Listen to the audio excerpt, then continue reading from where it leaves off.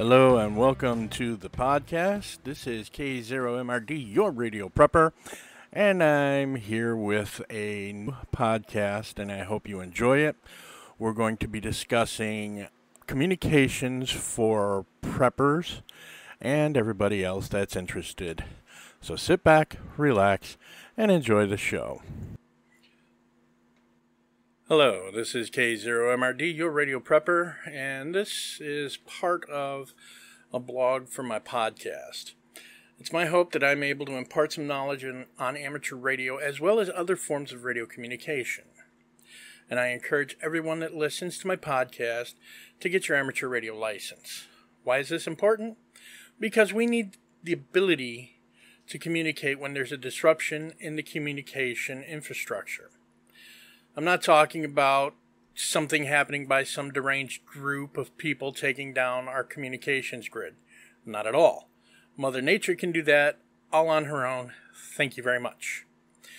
I'm talking about severe weather, tornadoes, hurricanes, and the like. These are more likely to knock out our communication lines than an extremist attack is, and this is why I prepare. Yes, I'm a prepper, and I have been since 1998. I'm an amateur radio license holder since 2009. I hold a general class license and have communicated as far away from Iowa as Austria. That's right, I from my home, I've communicated to Austria and it was really cool.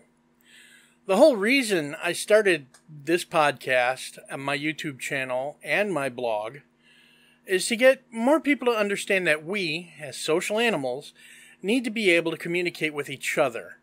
We need this ability not only to send and receive crucial information, but also because it's good for our mental health. We need to be able to communicate with each other simply for our own mental well being. A study done in 2000 shows that solitary confinement in prisoners can cause extreme stress and psychiatric disorders. And this article can be found at www.headspace.com. In the article, they are referring to prisoners in solitary confinement.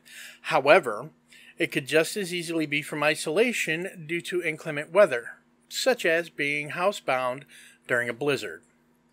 Having a, mean, a means of communication, having a means of communication during times like that is really just good for our mental psyche. Being able to reach out and talk to somebody who likewise is housebound, just to check on them, even if it's for a couple minutes a day, really does wonders to one's psyche.